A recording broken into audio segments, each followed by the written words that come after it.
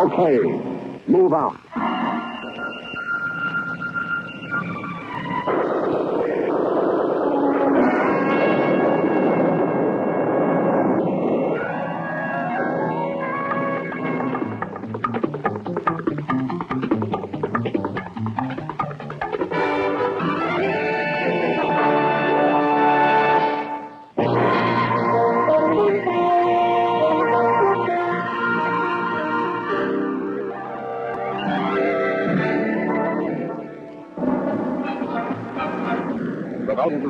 Over Vietnam come the Screaming Eagles, the heroic parachuters of the 101st Airborne Division.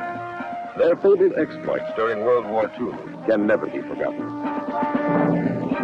In December 1944, outnumbered and surrounded by the Germans at Bastogne, the men of the 101st courageously fought on. When the Germans ordered them to surrender or be annihilated, their acting commander, Brigadier General Anthony McAuliffe, gave the historic reply, nuts. And they stood until the Germans were defeated. It is in this same tradition that the men of the Screaming Eagles, 1st Brigade, today serve on the jungle battlefront of Vietnam.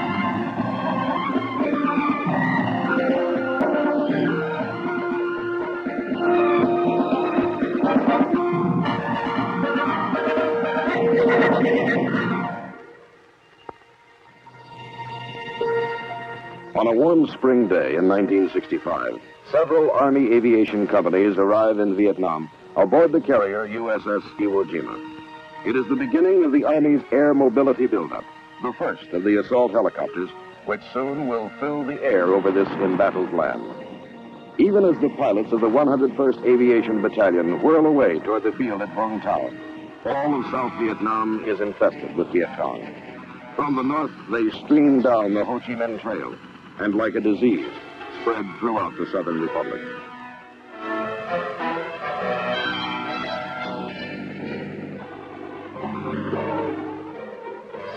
Into this setting come the first of the Screaming Eagles, the aviation crews of Company A, forerunners in the massive American military buildup to stop the communist enemy.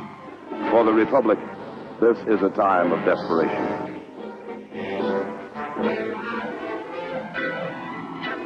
Here at Vung Tau Airfield, 40 miles southeast of Saigon, the job begins for these airmen. Along with helicopter crews from other aviation companies, the men of the 101st are to be processed for movement to their new homes in the forward areas of Vietnam.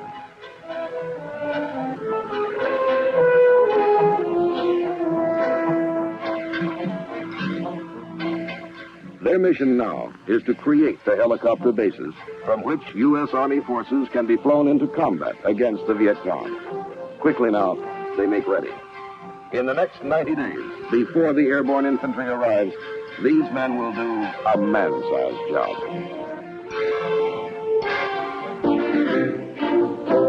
On the 29th of July, 1965, the 1st Brigade of the 101st Airborne Division arrives at Cam Ranh Bay.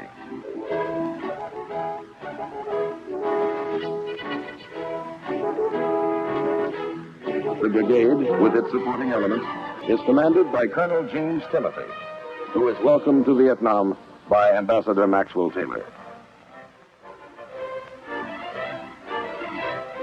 And by General William Westmoreland. In the ceremonies which follow, Colonel Timothy gets his first look at the strife-torn shores of Vietnam. And for the first time, the brigade unfurls the proud emblem of freedom over the land it is here to protect.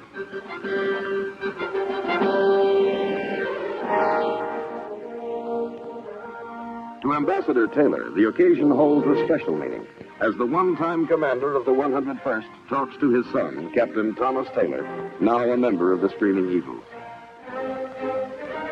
Concluding today's day's events, some of the airborne infantrymen stage a parachute jump for Ambassador Taylor and General Westmoreland. It is to be one of the few jumps these paratroopers will make in Vietnam. The Screaming Eagles descend toward the earth and the unknown hardships of jungle warfare they will face in the months ahead. Within two weeks after their arrival at Cam Ranh Bay, the Screaming Eagles are sent northward on their first combat operation as they sail for Qui Nhon, 130 miles up the coast. It is mid-August, and the brigade hasn't yet had time to establish its permanent home base in Vietnam.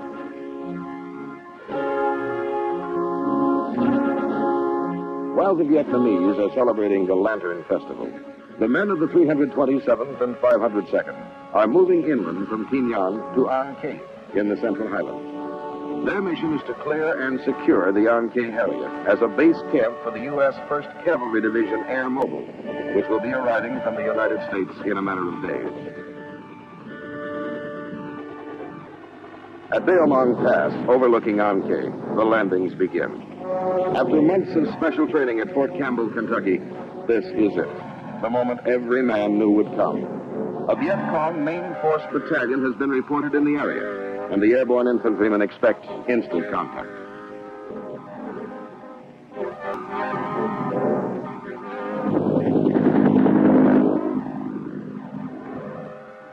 But it doesn't come. The Viet Cong are evasive, biding their time.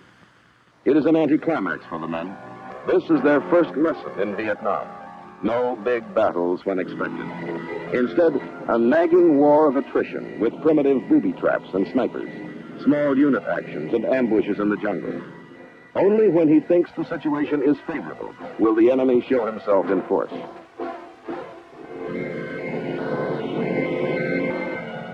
So the long, hard task of ferreting out the communist enemy begins.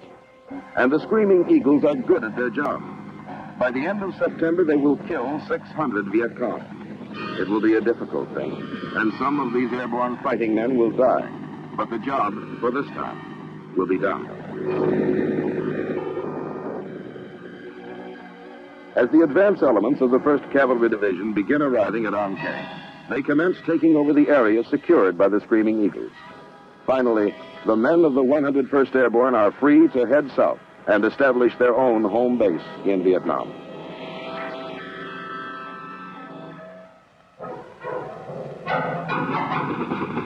Khe and the Central Highlands, the brigade moves 170 miles to the coastal town of Phan Rang. This is to be their permanent camp, as soon as it can be built. But weary from their campaign in the hill country, they work throughout October until the base at Phan Rang has been set up.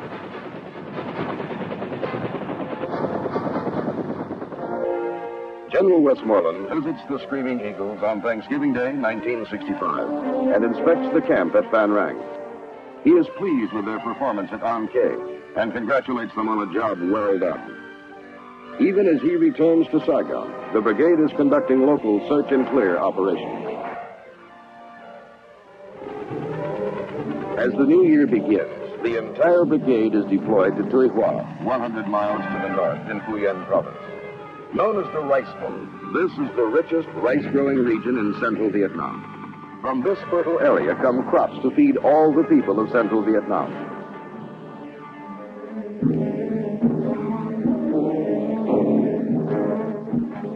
But the Viet Cong have been seizing the harvest and collecting unbearable taxes from the frightened farmers. Now come the Screaming Eagles to protect the rice harvest and stop the Viet Cong. Codename Operation Van Buren. The orders read, search out the enemy in the Tuy Hoa sector and destroy him. This assignment will be tedious. The VC desert their dwellings and avoid confrontation with the Americans. Yet the district is infested with an enemy who makes night raids and continues to molest the farmers. The search goes on.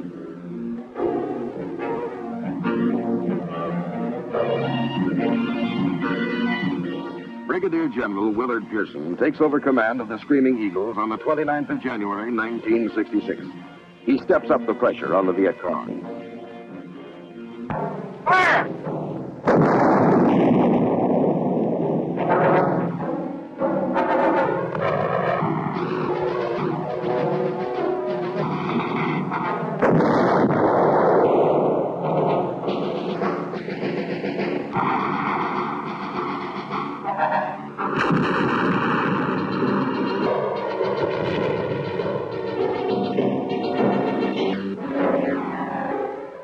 Across the broad reaches of Yen province, the Viet Cong are pursued. For the most part, they evade capture and withdraw to disappear in hidden underground sanctuaries. In the wake of U.S. military operations, the enemy rice raids diminish.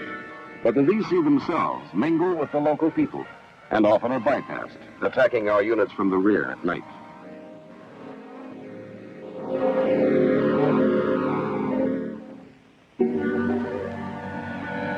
On 8 February, the deputy commander of the U.S. Military Assistance Command, Vietnam, Lieutenant General John Heintges, comes to Tuy Hoa to personally evaluate the situation.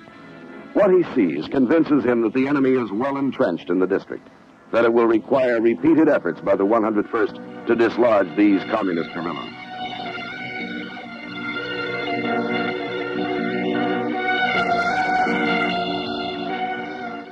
Operation Van Buren becomes Operation Harrison.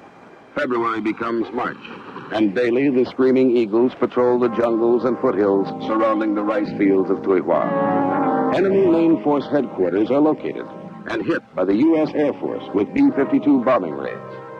The men of the brigade go in to check the results and prepare field reports for Air Force intelligence.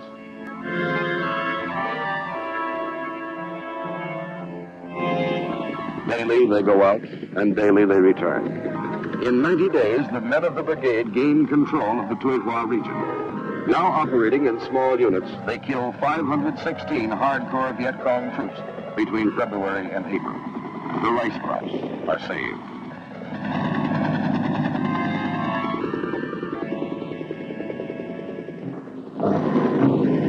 Once, early in March, the men of the brigade receive a surprise visit from one of Hollywood's movie heroes, Robert Mitchum. During this enjoyable interlude, there is talk about the glamorous girls of the film world.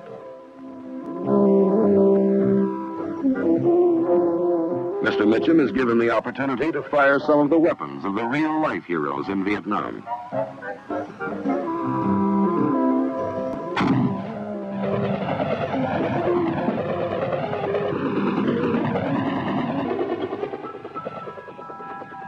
In mid-April 1966, the 2nd Battalion of the 327th is left to guard the rice harvest at Tuy and the rest of the brigade moves out on Operation Austin.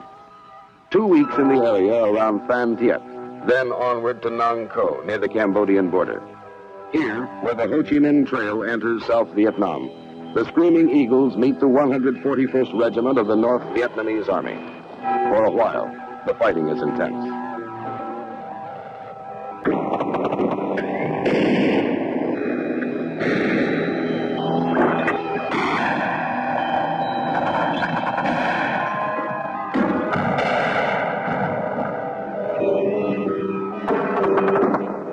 502nd Airborne Infantry takes a number of casualties.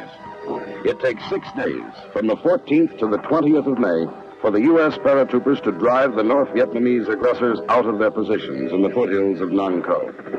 The communist regulars are well disciplined, well equipped, and tenacious. In spite of heavy ground fire, Army aviators get in with their dust off helicopters, and the wounded are whisked away to safety. This is the enemy. When he was captured, he was carrying a machine gun made in Czechoslovakia. He won't be using it again. As for his comrades, they have been put to rout, and in their hasty flight, they have dropped their arms.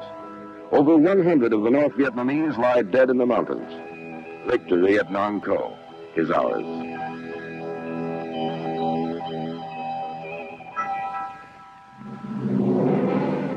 But for the Screaming Eagles, the greatest testing is still to come.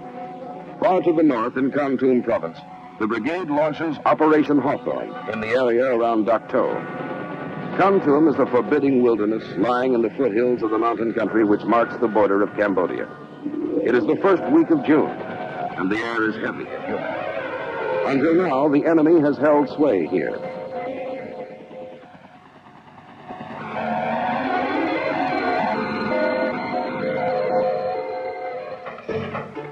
Thirty miles north of the little town of Dak To, the airborne engineers erect a crude bridge.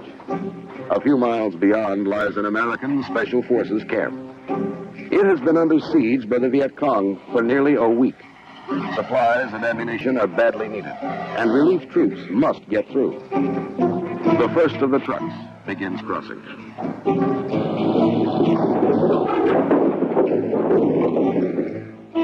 Near the bridge, the men of B Battery, 320th Artillery, prepare for another firing mission. Throughout the morning, they have rained howitzer shells upon the enemy forces attacking the camp. Now, with fresh supplies of ammunition, they're ready to begin again. Each time the shelling starts, the enemy withdraws his attacking forces to escape the punishing fires. When it is lifted, he regroups and again tries to take the camp. Despite week-long airstrikes by U.S. Air Force jets, the Viet Cong has shown no signs of withdrawing. But the artillery fire, directed by those defending the outpost, is having a telling effect.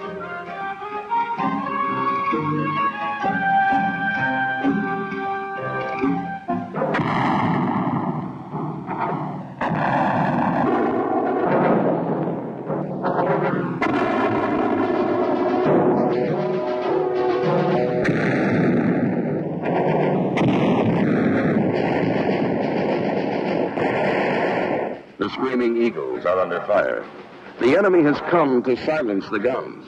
Communist fire comes from everywhere.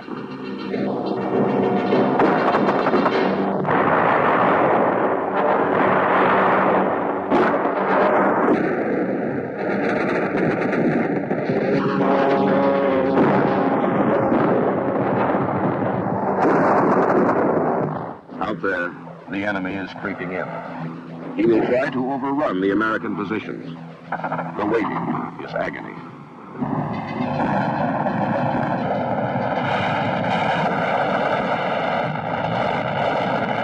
Then the enemy makes his move. This is it. Live or die.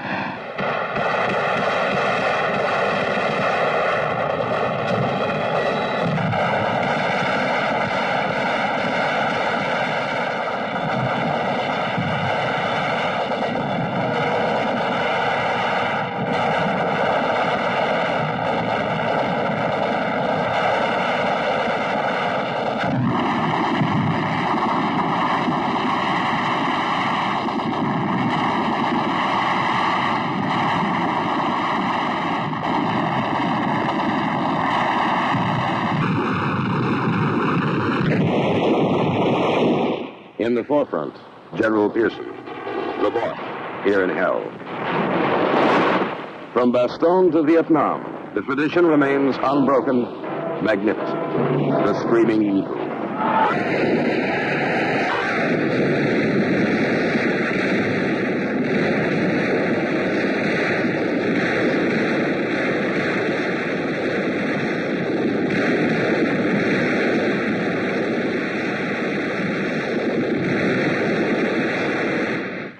Battle wanes. A small part of Operation Hawthorne is over. Some of the men of the 101st will fight no more. But for this day, the bastions of freedom held. They came from the north, a full battalion.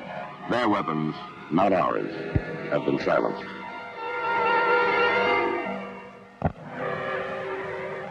Throughout the oppressive days and nights of June 1966, Operation Hawthorne continued. In the violent conflict which rages in Kon province, the Screaming Eagles repeatedly beat back prize troop units of the North Vietnamese Army. In 16 straight days of combat, the brigade envelops the 24th North Vietnamese Army Regiment, and more than 500 of the communist aggressors are killed. It is the largest single battle of the war for the men of the 101st.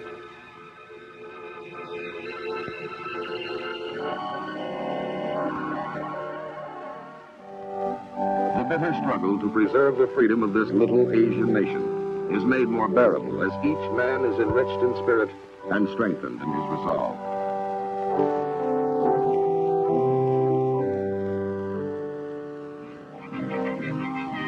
At last, the fighting is done.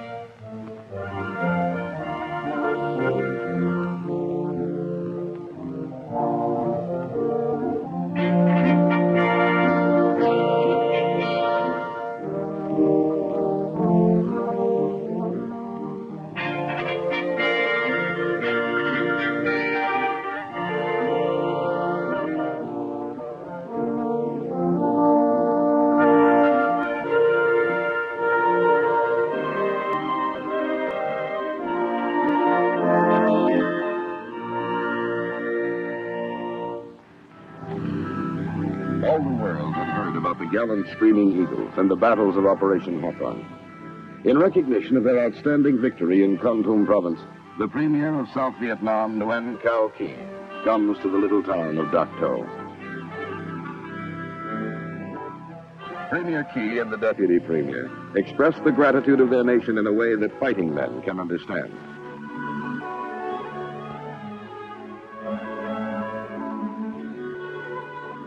These are some of the weapons taken from the enemy, the Premier is told.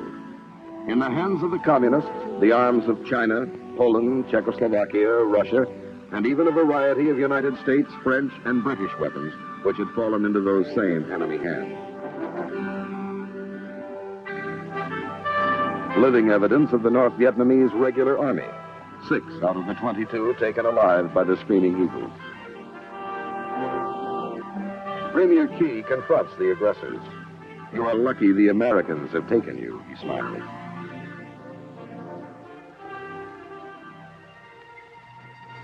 On the 21st of July, following surveillance operations along the Laotian and Cambodian borders, the brigade returns to Tuy Hoa. A new operation labeled John Paul Jones gets underway. Its purpose is to open and secure a 16 mile stretch of National Highway 1 between Tuy Hoa and Vung Ro Bay on the coast. The accomplishment of this mission will speed up logistic support of the Tuy Hoa area by permitting ships to unload at the nearby bay.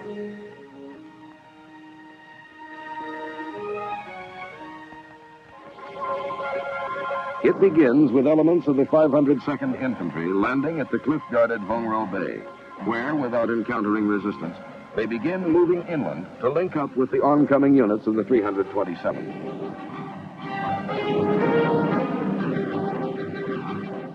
The inland forces push forward,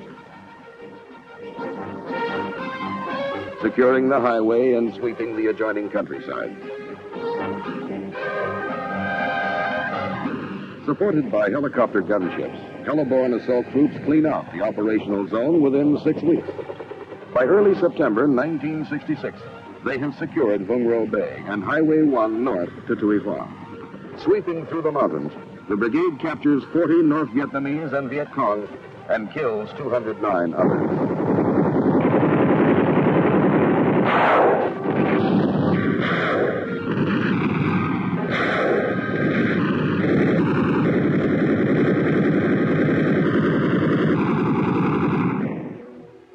Operation John Paul Jones is still in progress, the engineers begin construction work on the connecting highway between Vung Ro Bay and Highway 1. The Screaming Eagles have done their job well, and a new seaport is born.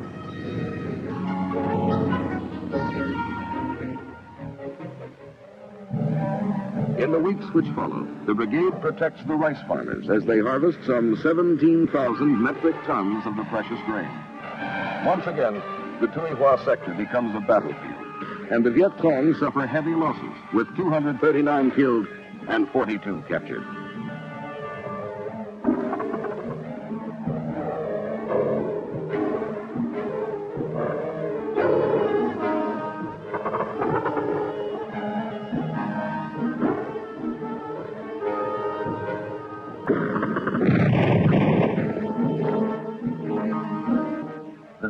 Cong have had enough. They are nowhere to be found.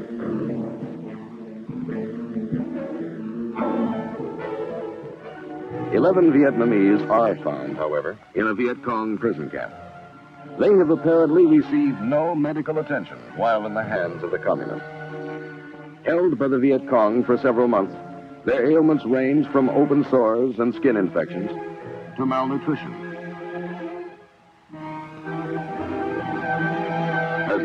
Deformities caused by unset broken bones. This man, a former Viet Cong who defected to the Republic and was later captured by the VC, cannot tell of his unspeakable nightmare with the enemy. On the 9th of December, the odyssey of the brigade continues. From Hoa, back up north to Kon province. The Viet Cong have been cleared from Yen province by this time, and the Screaming Eagles are moved to the north in a record 48 hours by the U.S. Air Force.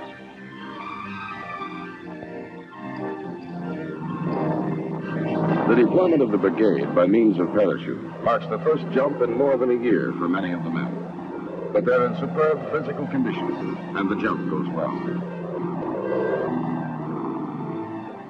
As 1966 draws to a close, the brigade descends upon Kontum province to take part in Operation Pickett. Fighting side by side with Vietnamese army forces and militia, the men of the 101st once again will scour the countryside, finding and finishing the enemy.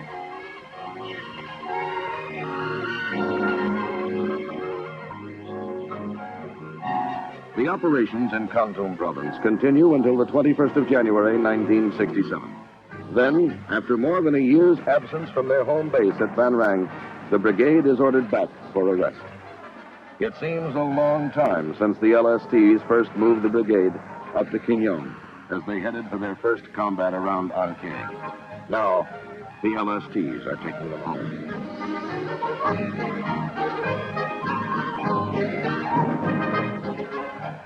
On the 26th, the last convoy rolls into camp at Phan Rang. Brigadier General Willard Pearson welcomes the men home. It will be one of his last official acts as brigade commander.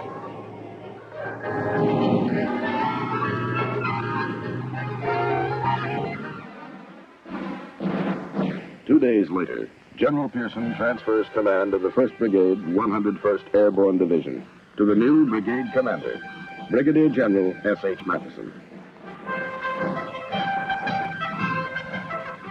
The battle hardened troops watch with solemn pride as Lieutenant General Engler pins the Legion of Merit on the uniform of their departing commander. So the Screaming Eagles bid farewell to the commander who led them in 14 combat operations from one end of Vietnam to the other. For the Screaming Eagles, as for the rest of the United States military forces in Vietnam, the valiant effort to keep that young nation free continues.